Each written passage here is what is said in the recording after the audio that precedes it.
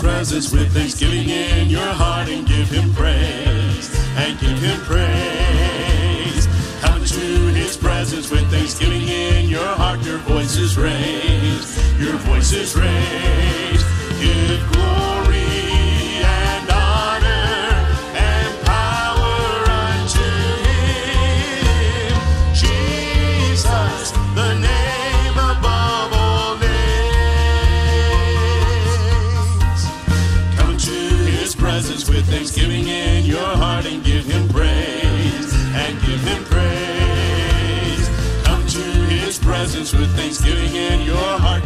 is raised. Your voice is raised.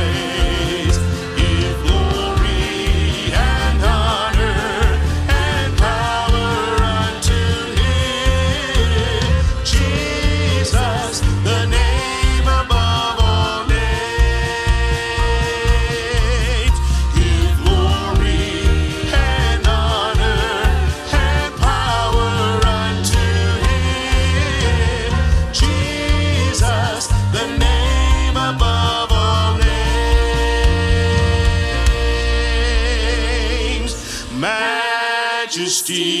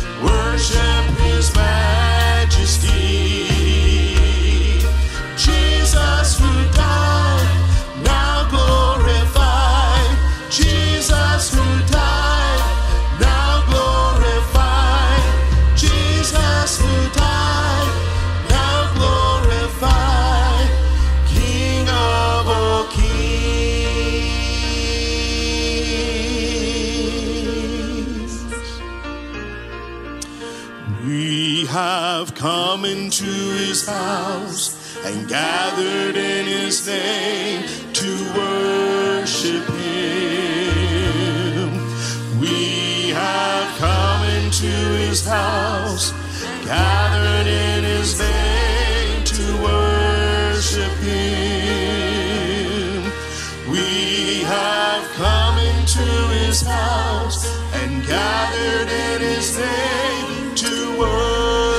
Christ the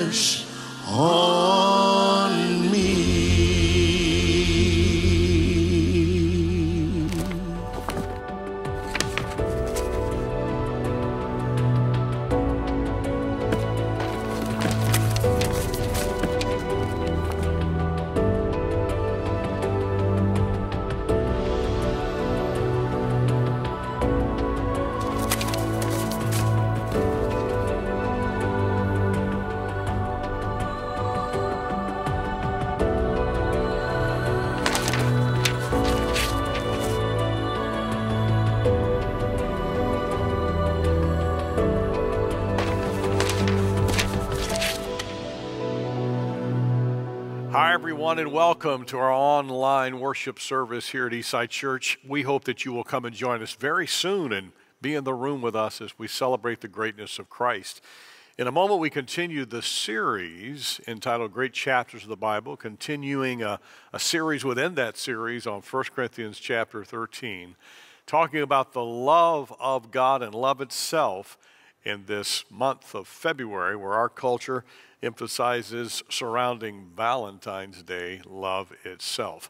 Now, before we get into the message, I, I want to do again today what we've been doing the last few Sundays in February, and that is remembering African American black Christian heroes, wonderful men and women of faith that have made a difference. As in our nation, we are remembering uh, our African American community with Black History Month. Today, I want to introduce you, and you'll see some pictures of him, to the late Reverend Tom Skinner. Tom lived from 1942 to 1994, and he is a life that should be celebrated.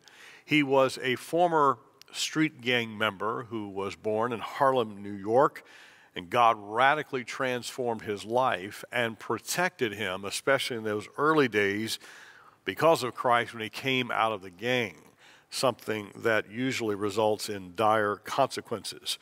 As Skinner grew spiritually, he became a powerful evangelist who shared the gospel of Jesus Christ for over 30 years in 70 different countries. He was also the chaplain for the Washington football team of the NFL. He also was a, a motivator and speaker to other sports teams. Before he died, he and his team established a high technology learning center which serves the inner city. They also established, before his death, the Skinner Leadership Institute, which provides networking, bridge building, and leadership development to this day. Tony Evans describes uh, Tom uh, Skinner as a, as a bridge builder, a true bridge builder, seeking reconciliation and breaking down walls of age, economic status, race, and religion. Skinner emphasized social justice and racial reconciliation. But he did this he always presented the gospel when accentuating the kingdom of God. He did not believe that racial reconciliation could truly happen unless the gospel of Jesus Christ was in the mix. He had the unique ability to communicate with every age and cultural group, something that Tony Evans, a pastor in Dallas, Texas, and head of Urban Alternative, has said that, that uh, Skinner helped him develop. Uh, Evans writes, I could not comprehend why the church should be just, just be spiritual while neglecting the social or why, or, or why social activism should be done as it was so often done, absent of sound theology integrated in and through the local church as well. Evans said that Skinner helped me formulate a balanced view of the gospel. So I hope that today that you'll remember this amazing brother in Christ who went to heaven now almost 30 years ago, Tom Skinner. He should be celebrated for what he has accomplished. And we continue to thank God for brothers and sisters in Christ of African American heritage here with Black History Month here at Eastside and across our land. Let's have a word of prayer and we shall get into the Word of God with 1 Corinthians 13. Father, today, as those who are watching, listening, they have needs. And we pray that as we examine your word today, that we would see those needs met. Thank you for this universal, beautiful principle, reality called love. And I pray today that we would be faithful as we listen, that I be faithful as I teach about the importance of your love for us and how we need to demonstrate that love for others. Now, help us, we pray, as we study your word. In Jesus' name, amen. Well, as I said a moment ago, we are in the midst of a bigger series called Great Chapters of the Bible. And we are with a series within this series on love in February. And today we want to go, as we have the last few weeks, and will for the remainder of this month, in 1 Corinthians chapter 13. Today we want to look at the qualities of love, part 2. We looked at some qualities last week, some more qualities this week. In 1 Corinthians chapter 13, picking up at verse 5, speaking of love, here's what the Apostle Paul writes It, meaning love, does not dishonor others, it is not self seeking, it is not easily angered. It keeps no record of wrongs. Love does not delight in evil, but rejoices with the truth. And then in verse 7, he says, It, that is love, always protects, always trusts, always hopes, and always perseveres. Now, these words are a continuation of what we started some two weeks ago when we began to look at the first verses of 1 Corinthians 13, the love chapter, where in the love chapter, before Paul ever talks about what love is, as we're seeing this week and last, he talks about what love isn't. He has told us, though, as we begin this chapter, that when it comes to love, it's the best thing in the world. There's nothing higher, greater, and nobler than love, and God is love. He says basically that love is the best, meaning it's, it's, the, it's the blue ribbon. The Olympics are going on now. It's, love is, the, love is the, the gold medal. Love is the perfect score on the SAT test. Love is the highest. It is the best. It is the greatest. In fact, he, he finishes the chapter saying, Faith, hope, and love abide, but the greatest of these three is love. As he is breaking it down, he, he says, I need you to understand this. Love, love isn't what I love isn't what I say. I can have great words to say. I can be articulate in many languages and in spiritual languages. But what I say, if it isn't mixed in with love, it equals nothing, it equals zero. Love is not only what I say, not what I say, but it's, it's not what I have. Paul says in, in the second verse of this chapter, even though I, I have, if you will, great ability, great faith, that I could speak and move mountains with what spiritual gifts I have, if I don't have in that mix of what I have love, it's nothing. And then he goes on and he says, Love is not what I do. I can take care of the poor. I can offer my body as a, as a, a martyr, my body to be burned. But if I do those physical acts without love, it profits me and everyone else with zero or nothing. So Paul begins here with a list of qualities of love. The first thing he says here is love is patient. Love is patient. Then next he says, love is kind. The third thing he says in verse 3, when defining, or verse 4, in defining love, he says basically love is not jealous. There's no jealousy streak in love, there's no envy in love. The fourth thing he lists as a quality is that love doesn't brag. It isn't puffed up. It's not egotistical. It's not self centered. It's not making yourself the center of a parade. And then, number five, the fifth quality, he says, love is not arrogant. It's not filled with um, ego. It's not filled with pride. Love is not arrogant. Now, as we move into the verses that we're studying today, beginning at verse 5, he moves into more, at least eight more qualities of love. And we want to take a look at them this morning.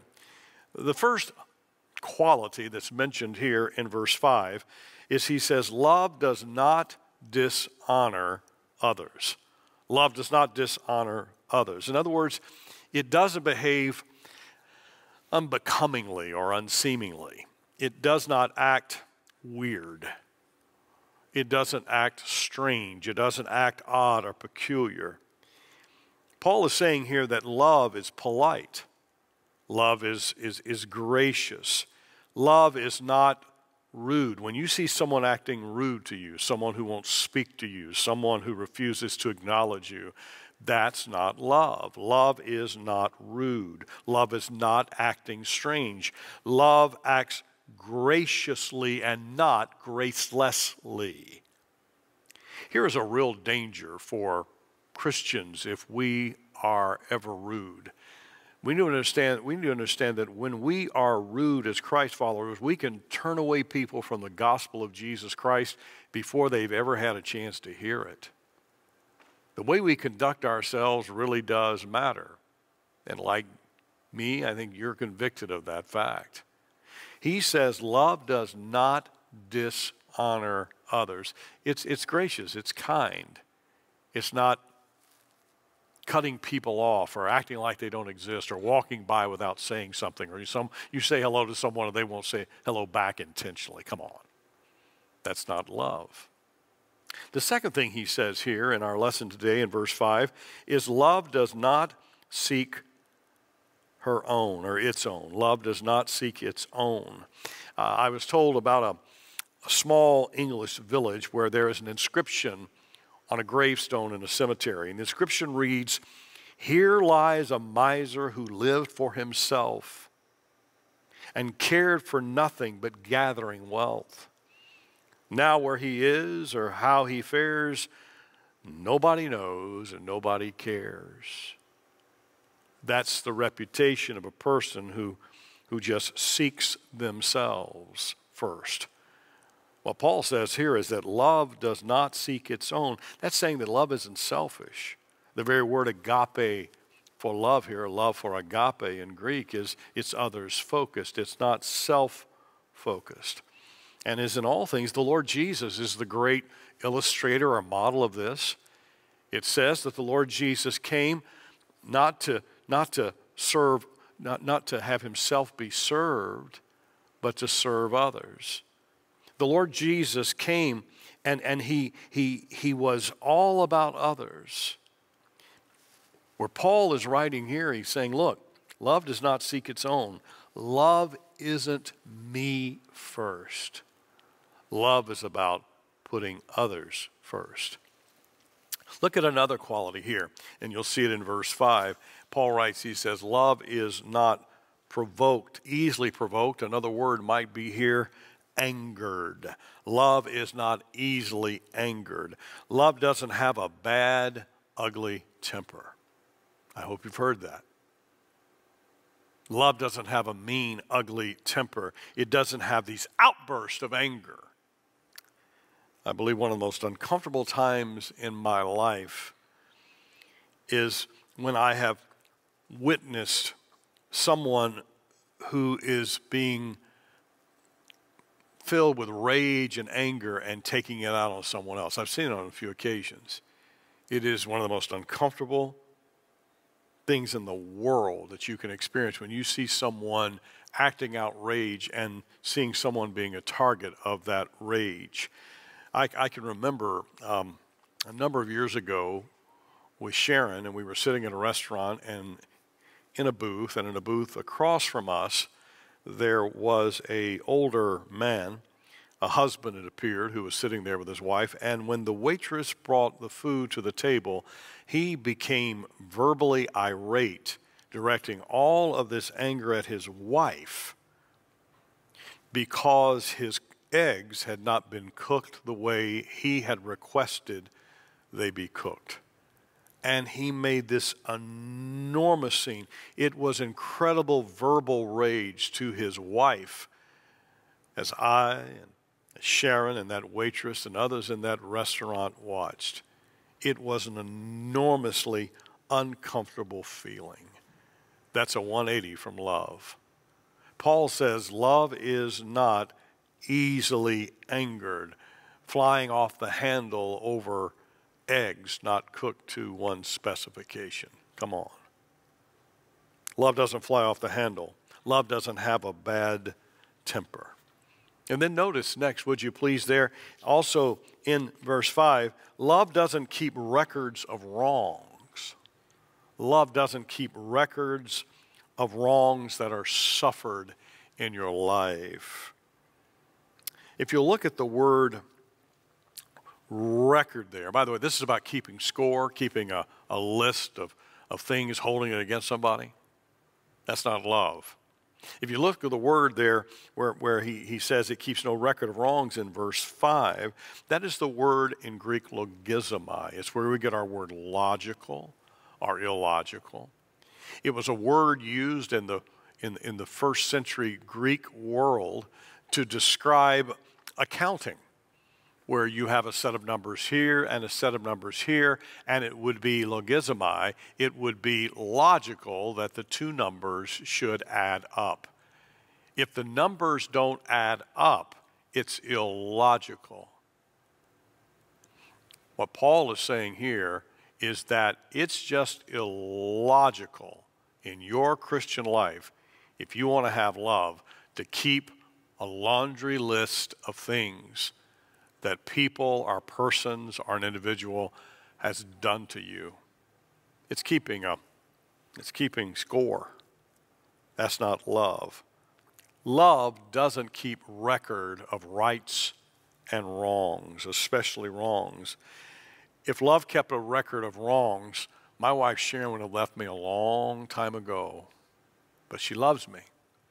And with that love comes forgiveness.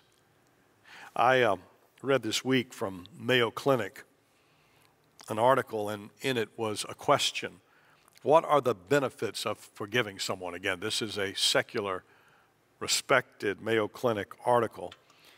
The article says letting go of grudges and bitterness can make way for improved health and peace of mind. Forgiveness can lead to healthier relationships, improved mental health, less anxiety, stress, and hostility, lower blood pressure, fewer symptoms of depression, a stronger immune system, improved heart health, and improved self esteem. Emotional health comes when you love people. And if you're that person, whether you it was caught or taught, whether it was your environment or it's just something that's innate within you, that you have a hard time letting go and forgiving people, and you're just keeping a, a, a list of wrongs in your heart and your mind, that is so opposite of the love that Paul talks about is available and should be lived out in every follower of Jesus. If you've got in your life resentment for, toward a person, you've got to let that go. If you're someone who you, you just have a hard time forgiving, listen, listen, you got to let that go. The Lord Jesus forgave you. Think of your list of wrongs. I think of my list of wrongs. God forgave us. God has the ability to forgive us. Can we not, who have received that grace in our lives, turn around and be able to forgive others? Sometimes you have to just let go. And if you don't let go, it's going to create all kinds of additional spiritual, emotional, and physical health problems in your life. Love doesn't keep records of wrong, it doesn't keep score. And then let's go next to the next verse there where he says that love protects. Love protects. It, it, it, it bears if you will, the weight, like a load bearing wall, bears the weight of a roof or a house. Love has this ability, if you will, to, to, to, to protect you, to keep the roof from falling in. It can be like an umbrella that when it's raining all around, it can keep you dry. Love protects us. And what love will do is love will help us carry some very heavy loads in our lives. Love gives us the ability to, to, to handle some hard stress, some weighty issues that come into our lives. Love protects. And then another thing that happens with love is love believes. Love believes. It, it, it trusts. It gives you the ability to, to trust people. Love does that. A long time ago, I made a decision in my life that I would trust people. I determined that I didn't want to live my life just looking always, you know, over my corner for somebody, over my shoulder rather, someone was going to come after me and, and hurt me or say something about me and uh, bring me harm. Um, I just didn't want to live my life that way. I, I determined that I would trust people. Now, when you make that decision, there are consequences to that. When you, when you trust people, most of the time you're going to have a tremendous, tremendous environment in your life. It's freeing. But if you're living your life where you are just never trusting, you're insecure, you believe that someone's always out to get you, you're not living a life of love because love believes in the best in people. And because love protects by me believing in the best in people and trusting people, yeah, there are times that you get used. There are times you get lied to. There are times you even get betrayed. I mean, you can be great to people and empower them and love them. I've seen this in my life, and they, they turn around and betray you. And it hurts. But I'd much rather live my life believing in people, knowing that God is protecting me in the bigger scheme of all this, than living my life just constantly questioning whether I can trust that person. I, I, I don't know how you, I, I know people that live their lives that way. They, they, they are so massively insecure, they can't trust anybody. I mean, how broken down is that? And then there's a lot of self fulfilling prophecy that takes place because you don't trust people, you begin to an imagination about them, and then something happens and it just fits your narrative, and eventually the relationship breaks off, and you say, Well, I knew I should have never trusted him, and I was right. Totally wrong approach. What an insecure approach. What he says here is he says, Love believes. The same love that trusts is the same love that also protects. And then next, love hopes. You see it there, love hopes. Hopes all things. There's, there's great optimism in love. Great optimism in love. Hope, hope is the belief, I, I like to define hope is the belief that God has the power to change things. Hope is the belief that God has the power to change people. Hope is the belief that God has the power to change circumstances. Love hopes all things. There's great optimism in love. Tremendous truth. And then one more love endures. Love endures. And, and that's where just love just love just keeps on going till the end. It just keeps on going till the end. Love endures. It, it perseveres. And with every test that comes in your life, it should make your love stronger. And the love that you have will get you through the tough time. Love never fails, Paul says in the ne- next verse, where we're basically finding the fact is that you can't beat love. It's the most supreme and wonderful thing. It is an amazing, amazing thing, love. No, make, make no mistake about it. The older you get, the more you understand that your love will be tested. Sometimes your love is tested in, in marriage, and then sometimes your, your love is tested in parenting or grandparenting. Sometimes your love is tested in, in, in, in your walk with God and your, your daily faith. Sometimes your love is tested on the job or on the field of play. Sometimes your love is tested in business. Your love is tested. And maybe I'm talking to someone right now, your love is being tested right now. It's very, very difficult. One writer I read this week in preparation stated this Most of us will never, never have a trial like Jesus faced, but there will be situations in our lives where our love will be tested. And how will we respond? Will we throw in the towel? Will we walk away? Will we be content to just let it be, never working toward making things better? Will we be, be be looking to uh, looking past the annoyances that are coming in our lives or will we be indifferent to people who come our way if we're loving the way that God wants us to love we will love because love endures all things and whatever thing you're facing whatever issue is in front of you love has the power to endure. It will take you till the end. Now let's recap. There are about 13 of these that Paul talks about from verses 4 till 7. Look at this. Paul says these qualities of love are out there and should be applied. Love is patient. Love is kind. Love is not jealous. Love does not brag. Love is not arrogant. Love does not dishonor others. Love does not seek its own. Love is not easily angered. Love doesn't keep records of wrongs. Love protects. Love believes. Love hopes. Finally, love endures. Now, what we will do next week, as you see at that list, is we're going to talk about the endurance of love because Paul is going to say in the next section Love never fails, and love lives on forever. It's the greatest thing. Now, look at that list and those qualities, and, and, and basically what, what Paul communicates to us under the inspiration of God's Holy Spirit, and all of those qualities have lasting power. They have eternal capacity, and all of those elements, all of those qualities of love, can be lived out in us as individuals and lived out in us as a church.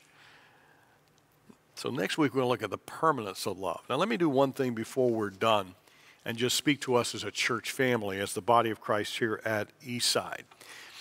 As I was looking at this and I was wondering, and, and, and thinking through all of this as to how do we wrap this up as we are looking at these 13 qualities of love. How does this apply to a church like us where we are coming out of the COVID situation with so much polarization in our country and in our world and with tensions high? with inflation going up. How, how, does this, how does all of the qualities of love live out in us? Well, with that list of 13 that you see in mind, I, I'm drawn to Galatians chapter 5, verse 22. Galatians 5 22, where Paul is speaking to another church, the church at Galatia. And what he is saying here to them is that there is a fruit or a cluster, like a grouping of grapes. There, there's a fruit of the Spirit with elements that need to be in our lives as we live the Christian life. In other words, this list of, of, of, of clusters make up the fruit of the Spirit, and it is in direct connection with what Paul lists as the qualities of love. For he says here in verse 22 of Galatians 5, but the fruit of the Spirit is love, joy, peace, forbearance, kindness, goodness, fruitfulness, gentleness, and, and self control. Against these things, there, there is no law. Look at that list there. You look at these, and what you find here, you read these carefully, and you lay it on top of 1 Corinthians 13, or you lay 1 Corinthians 13 on top of it, and it would be transparent so you could see from one page through to the next. You see that all the characteristics, the 13 characteristics of love, show up in these clusters, this cluster of the fruit of the Spirit, these, these gifts, these fruits of the Spirit. So then I ask the question to us as a church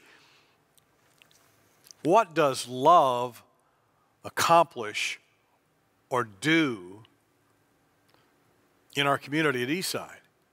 What, what, what, what, what, what happens when we become a church that is exhibiting the fruit of the Spirit and the characteristics of or qualities of love? And what love will do in our church, it has in the past, it is now, and it will do in the future if we just get more serious and more intense and focused about it, more intentional about it. What love will do in our church, it will edify, it will build up the body of Christ. And what the love of 1 Corinthians 13, those qualities will do, is they will release the power of the Holy Spirit into lives, into our communities, into neighborhoods, and to people that we're talking to and touching every day. And it'll be something, if we're consistent, it will be something that people will sense when they walk on our campus. That'll be true in our school. And it'll be true when we go away from here on mission opportunities to live out Christ and His love in communities in our nation or all over the world. That's an amazing thing.